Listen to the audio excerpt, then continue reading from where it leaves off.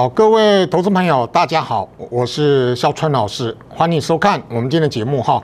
台北股市好连跌一个礼拜之后，哇，今天终于有一个比较像样的反弹。好，那但是呢，这个有没有机会继续再谈？好，这东西我们待会慢慢来跟大家做解说。好，我们先来看今天的盘了哈，好不容易涨起来了哈。今天台北股市呢开小高之后震荡，然后呢从中涨之后就慢慢的一路走高哈。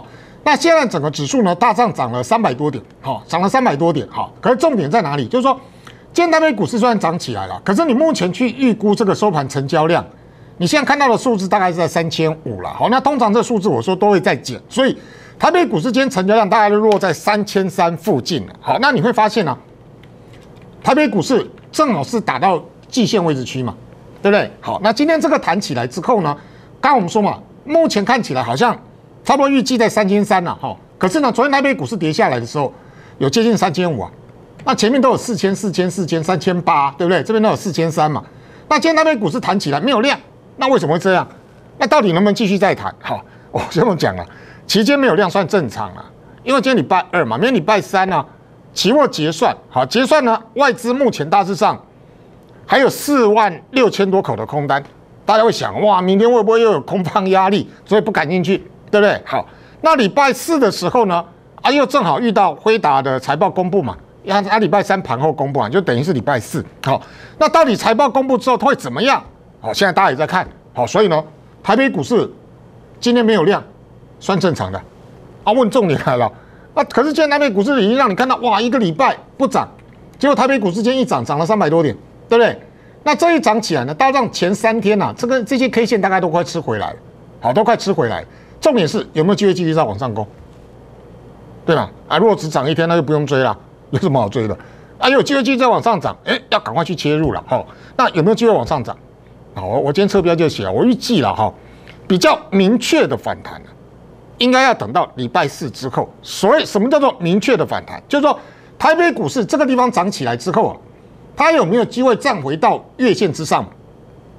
那如果说能够站回到月线之上，也就是说它现在回到前面的轨迹部分嘛，对不对？那最起码你这个季线就不会破啦。是吧？所以呢，我预计了哈，应该还是要等到礼拜四之后，会比较有一个比较明确的反弹。好，因为我昨天跟大家讲，这个礼拜的盘是重点，就是在辉达公布财报之后，它会决定整个市场的多空。好，那当然你你你你看我今天的车标，我昨天也跟大家讲，我是比较倾向辉达会继续往上涨。哈，那这东西我们待会慢慢跟来跟大家做解说。好，那到底这个盘现在怎么去解读？我们仔细看哈。好不容易今天一根红棒出来了，但是也没有办法化解说啊，整个市场比较没有信心的危机啊。其实我们先把辉达摆一边来看，我们就从整个国际股市本身的架构里面来看，你会发现到这一波美国股市，我们就跟大家讲嘛，它都守稳月线，所以你这里也不能算是空头啊。科技股呢，目前最起码也没有说什么正式跌破月线，也没有嘛，对不对？好，可是因为从川普当选之后，美股算是一枝独秀了。好，因为他的政策，我我一直跟他讲，就是损人利己，损人利己嘛，所以对他比较有利嘛。可是我们去看其他国家的股市，你会发现到啊，欧洲股市就是维持区间了，对不对？就在走区间啊，有没有破线呢？啊，日经指数呢，最近也比较震荡嘛，可是也没有让我们看到什么破前低啊、破线也没有嘛，对不对？所以我说台北股市，你说这个地方要破线，然后开始走空。老实讲，我是觉得不太合理了，好，不太合理。当然，这个时间点哈，又面临到明天的期货结算。我刚说外资空单还有四万六千多口，所以大家会比较担心说，哇，这里明天是不是又开始多空交战？那这地方明天会不会开始又有卖压？好，那各位我们来仔细看哈。我之前跟大家讲过，我说每次看到那个外资空单比较多的时候，到底会不会形成台股有一个比较明显的卖压，或者比较重的卖压？其关键你是要看台积电，对不对？好，我们来看嘛哈。以台积电的走势来看哈，这是 ADR 的走势。其实昨天台积电的 ADR 已经反弹了差不多零点七帕，反弹不多了。但是最起码这一波整个台积电的 ADR，它是守稳在整个季线嘛，对不对？啊啊，没有继续跌啊，好，没有继续跌啊。好，所以呢，你现在再回头来看嘛，啊，台积电 ADR 是接近季线位置区啊。那现货的部位呢？它是比较强一点啊，所以离季线还有一段距离。可是呢，今天台北股市能够弹起来，台积电它占蛮大的工程，台积电涨二十块，所以说涨二十块，大致上也差不多是今天指数的一半而已了。但是台积电最起码表态嘛，对不对？好，而且台积电今天台积电今天是量缩啊，因为明天还有期货的结算，所以呢今天先量缩，所以涨的并不多。可是呢，你有没有发现台积电现在离月线它并没有很远呢？是不是？所以呢，台积电只要不跌。甚至于明天台积电这地方，不要说涨多少了，涨个一档两档就好了啦。我跟你讲了，明天的期货结算了，照理说了，那个空方就算有压力，空间也不会大到哪里去，哦，也不会大到哪里，顶多多空交战难免了。但是呢，就算你有震荡，台积电只要涨，你台北股市也顶多在这里啊。啊，你说要去破前低，前低多少？二二五零三嘛，算二二五零零好了啦。台北股市目前最起码你连前离前低啊，还差三百五十几点。对不对？所以呢，我我认为你说啊，台北股市要破前低，刚我就说了，你你看欧洲股市有破线有破前低吗？啊，日经指数也没有，所以呢，照理说台北股市目前这个时间点的走势，它算正常，好，它算正常，好。那关键点是有没有机会去站回到整个月线？如果能站回月线的话，就回到原来的轨迹啦，那就没有什么太大的担心啦。啊，当然站回月线之后是继续攻呢，还是走区间？这个后面我们再来说，好。但是我就说。从礼拜四之后，照理说这个牌应该会明确反弹。为什么？因为跟辉达有关。我们来仔细看哈。我们以辉达的走势来看呢，因为昨天费半的走势呢反弹比较大，哈，因为它之前比较偏弱势。但是我们从昨天整个半导体相关的个股来看，几乎全部都红的。然后然后辉达跌，对，辉达跌一点二趴，其他全部都红的，好，全部都红的。好，我们现在从辉达来看。因为辉达要公布财报了啦，所以呢，这个市场可能大家会在等，哎，到底你财报公布出来能不能符合市场的预期？我说嘛，好，你你你从台积电的营收就可以发现，台积电营收这么好，那都跟整个 AI 晶片有关了。所以照理说，辉达的财报不可能不好啊，那是不是能够好到市场的预期？我说我不知道，但是呢，昨天稍微有点震荡，算合理了，好，但是也没有爆量，好，也没有爆量，好，那再来呢？以辉达昨天跌下来之后，它有破前面这个低点，好，这个跳空缺口这地方有跌破，这代表说，哎，这个短多稍微有点遭到破坏。可是呢，辉达在跌的过程里面，昨天辉达跌一点二趴嘛，可是呢，你其他的半导体产业全部都在涨，哦，全部都在涨，好，所以呢，可见呢，这是因为辉达财报要快要公布了，所以市场可能会有点犹豫，好，稍微等待一下。可是我跟大家讲过，辉达的股价只要不破前面这个低点一三二点一。老讲这个盘，照理说还不至于会形成空头，好，但是呢，接下来辉达公布财报之后就很重要了。好，我们我们昨天有跟他说嘛，辉达这个礼拜啊，辉达会决定多空。好，如果说辉达，我们这么讲，如果大家比较担心是不是会利多出尽，好，如果真的利多出尽的话，辉达跌下来，它会来到差不多接近前低位置去。如果说连辉达都不涨的话，我可以跟他讲，接下来你是要卖股票的。那业绩最好的股票就叫辉达，啊，那权重最重的也算是辉达。那因为你整个辉达的股价，它本身会影响到台积电啊，对不对？所以呢，辉达公布财报之后，如果它是跌的，那我是建议各位，我们就先卖股票，就是这样，先卖再说。为什么？因为你台积电会受到影响啊。但是我我昨天有跟他讲，我说我比较倾向于辉达公布财报之后还有机会再往上攻，好，因为我觉得营收不会太差。那到目前为止，它股价也没有让我们看到什么走空的现象嘛，只是说昨天稍微没动一下嘛，对不对？稍微有破前面低点嘛，可是这个地方多头也没有遭到破坏，而且呢，重点在哪里？你注意看好，为什么说礼拜四之后啊会比较明确反弹？第一个当然会打很重要啊，你不能利，你不能出现那种利多出尽的走势啊。那如果说你只要有涨啊，涨涨多少再说了哈，再只要有涨，那接下来呢，你你台积电跌不下去嘛？甚至于台积电呢，在这礼拜后半周有机会站上月线。好，那现在不是只有台积电哦，你再注意看哦。你看联发科啊，这些比较重重量级的一些全值的个股，今天联发科的股价，它又站回到整个月线了。现在几乎已经来站站回到月线了，有没有？到这一波走势里面来看，你季线没有破啊。然后你再仔细看哦，跟 AI 相关的一些龙头的个股，你看华硕。我说也没跌啊，它已经涨很多了，可是它没有跌啊，对不对？所以呢，如果我们就从这三档来看，一个是台积电，一个是联发科，另外一个呢是华硕。其实这三档个股都没有跌哦，而且甚至于整理整理之后呢，联发科今天站上月线了。所以我说明天的期货结算，就算有多空交战，我是觉得空方也逃不到这个时间点了，应该也讨不到什么太大的便宜了。好，所以呢，台北股市明天就给它震荡一下，哦，给它震荡一下。但是呢，只要辉达财报出来公布之后，没有什么利多出境的问题，台北股市从礼拜四、礼拜五开始之后，就会开始震荡月线。OK，好，很简单啦。那当然。这种盘呢，你会想说真的吗？没关系，你慢慢看，没关系，先慢慢看。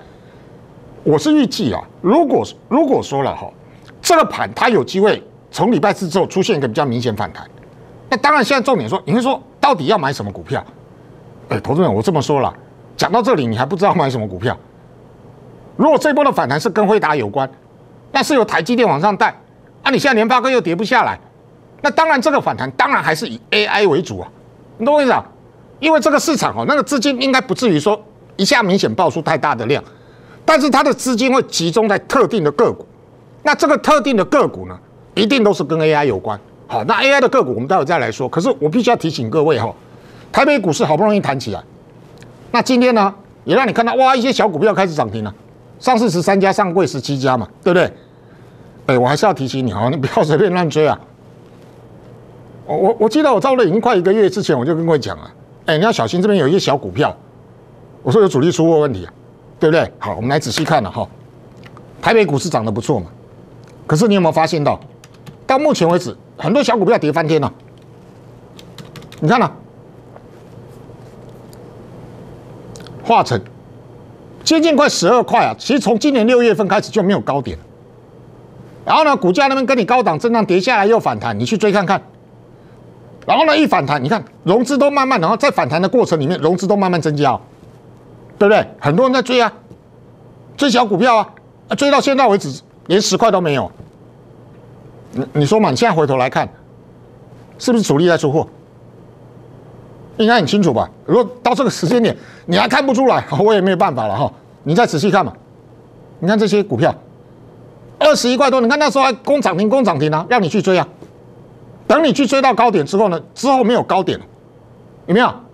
最高点从二十一块六跌到现在为止十块都不到了。我问你嘛，你有没有发现到有小股票真的是主力在出货？还看不出来吗？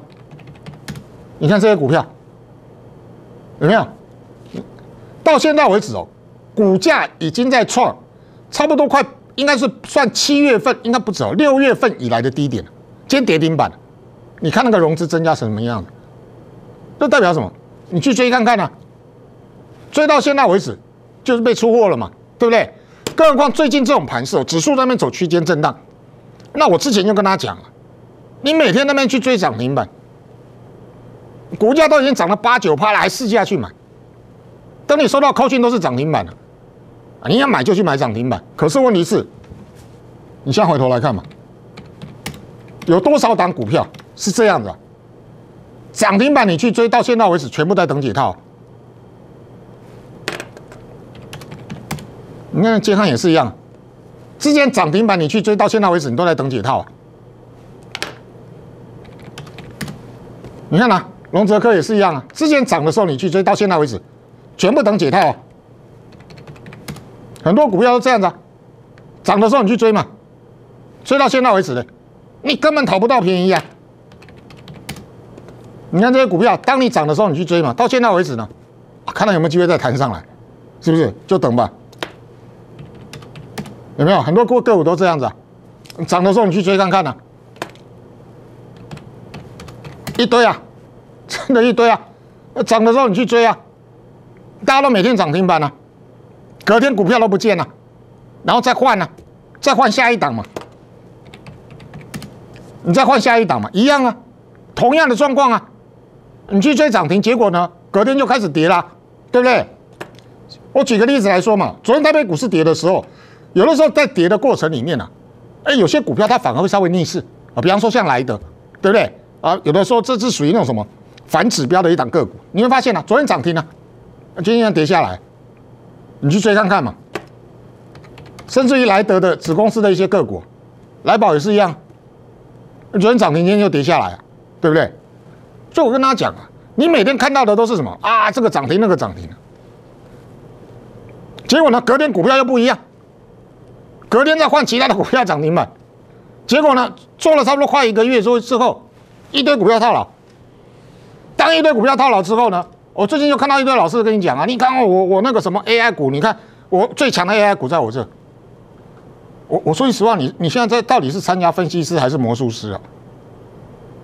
每天都有涨停板，每天股票都不一样。当股票套一堆之后呢，啊，发现不对，哇，这个盘是现在最强，应该是说这差不多一个多月以来最强的、最稳定的，应该就是 AI 股。就现在大家都在跟你讲 AI 啊，对不对？可是你今天看我们的节目，我就跟他讲，你的资金只有那么一套，你你不可能说这个涨停你也要，那个涨停你也要。很多时候，你为了想要说啊，能不能多抓一档个股，能不能涨停、涨停再涨停，对不对？可是你最起码，你你你你后面呢，大概停损个五档到十档，那结果呢，到最后也没钱了，一堆股票套在上去啊，套在上面了，对不对？可是我说，我们不要浪费那个资金嘛。我们从九月底、十月初，我就跟各位讲 AI，当初我们的成本区在这里啊，那时候这些股票。它不是小股票，它是有量的股票，不是那种小股本的股票。刚刚我也跟大家讲过了，有多少那种小股本的股票，到现在为止真的是跌翻天了，跌到这个时间点，你还看不出来你被人家主力出货，那我也没办法。你去买那种小股票，你根本出不去啊，是不是？啊，问题是你今天想要赚得多，你希望一定要买得多嘛？啊，当然股价能够涨上去的话，这地方最起码就是赚得多啊。按我们的做法不就这样吗？那时候的尾创位置区在这里，这一段的过程里面真的是飙一段呢。那就说老师他最近拉回，拉回又怎么样？我们成本在这里啊，而且我那时候我给大家看过过去呢，在拉高的过程里面，我又稍微获利调节啊，对不对？所以呢，很多个股你要懂得把你的成本压低嘛。好，你再仔细看嘛。当我们那时候在讲 AI 的时候，没有人在讲。大家都是什么股票涨停板，那个股票涨停板，那个也涨停板，结果每天股票都不一样。可是呢，我就跟他讲，你你不需要这么做啊，你资金只有一套，你干嘛去那边每天追涨停，对不对？啊，有些个股有低档，你为什么不买？你为什么不买？当初的新塘是从八四八五八六的时候有低点，我叫你进场去买，啊，你说要涨停，它自己会来呀。啊，我成本够低，我们也不用追涨停啊。哎，更不可能什么八八九八叫你试价买啊，对不对？所以一个波段起来，最起码差不多也快三成了嘛。而且我低档有买，拉高有卖。你再仔细看嘛，当初的事情，当初我们在跟各位讲 AI 的时候，啊，你不屑一顾了。为什么？大头每天涨停板啊，你还在讲这些股票？对啊，我就讲这些啊。一九五五的时候叫你买，一个波段起来，你说有涨停啊？也不用追它嘛。到十一月七号的时候，这一段上面我先调一半嘛，因为盘会震荡。可是我认为它多头没结束，我认为 AI 没有结束啊。可是我不能让看看到那个获利被咬掉啊，对不对？所以我们就先卖一半嘛。你们看有跌吗？拉回之后呢，今天还开始出量涨。我们的成本在这里。如果辉达公布财报之后，辉达是继续冲的话，我想有些股票还要继续涨。尤其他会去带 AI 啊，不是说去带小股票。我跟你讲，这种盘如果去涨小股票，这个盘你根本月线站不稳了。所以资金会特定去集中啊。所以呢，当初我们带给你的方向是正确的嘛，对不对？你看创业也是一样啊。当初低档的时候叫你买，也是飙了一段起来啊。阿拉高我们稍微获利调节啊。我这几天都拿扣讯给你看了。按你说你资金小的，我说没有差嘛。那时候跟你讲英业达，英业达那时候是在四五七这个位置还没有发动哎，结果呢，有没有标一段？有标一段吧？哎，但你会说老师英业达拉回，拜托，英业达那个时间点。在这里，十一月六号的时候我们就开始获利调了，十一月十一号我们也开始获利调啊，所以这些股票我们都是低档有买，我拉高有卖啊。那没有发现到最近一堆老师跟你讲 AI，我九月底跟十一月份的时候跟你讲啊，那个 AI 机会来了，AI 机会来了，没人理，真的没人理啊，因为大家都在被每天涨停板了，啊，涨到现在为止呢，我们涨停板呢，变跌停板了，对啊，涨停板变跌停板了，不是这样吗？啊，结果现在一堆老师跟你讲 AI，我说你到底是参加分析师还是魔术师啊？怎么搞的？什么股票你都有？哎，你没有那么多资金，好，你真的没有那么多资金。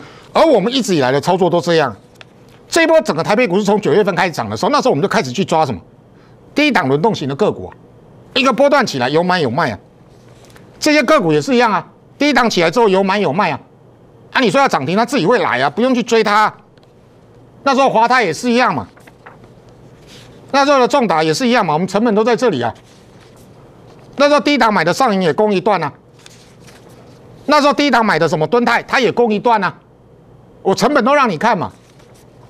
当初跟你讲的华星光也是一样啊，后面也都飙一段啊，对不对？那些拿每天涨停板，老是拿不出扣讯给你看，结果你还要信，结果现在一堆股票套上面，怪谁？你你自己稍微思考一下。好，那接下来呢？台北股市现在怎么办？我们刚说嘛，今天反弹呢，但是真正的反弹，我预计啦，因为明天要期货结算嘛。那我说礼拜四之后，辉达公布财报之后，我预计啊，这个地方有机会开始站上月线了。那有机会站上月线，也代表说那是 AI 去带动，所以接下来的主角还是放在 AI 啊。可是问题是 AI 有些个股已经涨一段了嘛，当初叫你低档买你不要，我跟你讲哦，接下来哈 AI 还会走轮动，所以呢，有一些啊比较属于低位机的 AI，目前这波的股价它还没有动，好还没有动。可你从周线明面来看，你会发现到它已经来到前面低档的位置去啊，那个底部已经出浮现了。所以呢，有一些属于低阶的 AI 股，反而是在这个礼拜四之后啊，它开始要开始从低档走轮动型的个股。所以你要懂得及早先去卡位了，不是说每次等到涨上去之后你再拼命去追。所以，我我是建议各位啊，从川普当选之后，后面你可能操作不要乱做啊，因为没有时间了。今天有一个紧急命令，川普说当选之后，那个上任之后紧急命令，把军去用军队去把那些什么偷渡者全部抓出去。有的乱了，我跟你讲，真的有的乱了，所以呢，你还是稳稳当当的做好不好？后面的股票在这个地方，那认同的欢迎你来电咨询。我们休息一下，待会回来。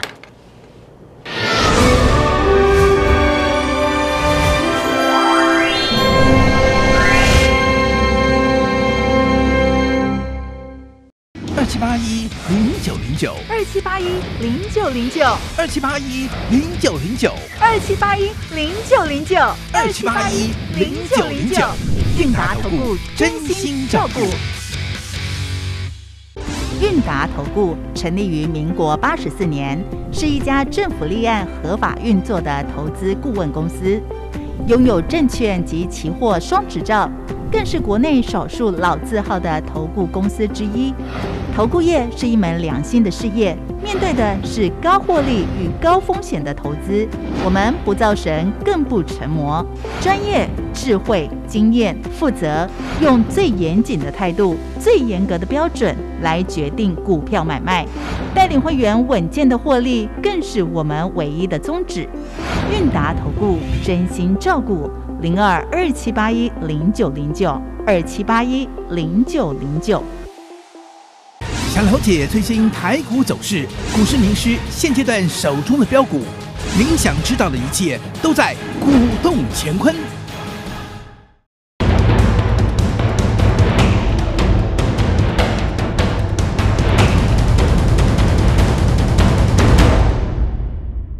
好，欢迎回到现场哈。台北股市今天大涨，不过我刚刚跟各位讲过，台北股市能不能有出现一个比较明显的反弹，能不能站回到月线之上？好，礼拜四之后才是重要的关键哈，因为这跟辉达的财报有关。那我是预计了，辉达财报出来之后，应该还有机会再往上攻。所以呢，这个盘哈，接下来要涨的还是跟 AI 相关的个股有关。但是呢，你也不用追了，还是一样去抓低阶的股票，好不好？不知道怎么做的哈，欢迎你跟着一起来，我让你富贵稳中求。我们明天见，拜拜。肖春元老师声明书：近来网络诈骗猖獗，盗用肖春元老师照片及简介，收取不当之会费及开课费用，诈骗投资人，请投资人勿受骗上当。若有疑问，请拨打韵达投顾公司电话确认，以免权益受损。本投顾公司与所推荐分期之客也有大证券无不当之财务利益关系，以往之绩效不保证未来获利。本节目资料仅供参考，投资人应独立判断、审慎评估并自负投资风险。